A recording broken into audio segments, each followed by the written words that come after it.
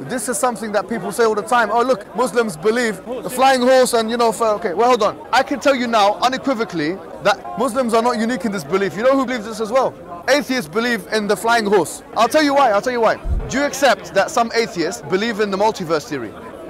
Okay, most of the atheists who believe in a multiverse theory believe in an infinite amount of universes, correct? I mean, it's certainly possible. That's Thank you. saying. You're saying it's possible. That's it. Thank you. Do you know what that entails? If you believe in an infinite amount of universes, then what you actually believe is that all potential possibilities either have, are, or will be actualized. That's what you believe in. Yes. So, okay, my point is this atheists who believe in a multiverse of an infinite amount of universes believe that there was a man called Muhammad who flew with Buraq. It's a possibility, isn't it? You couldn't negate it as a possibility. Okay, let's say yes. Yes, so me and you are on the same page. I don't think there's anything different between me and you.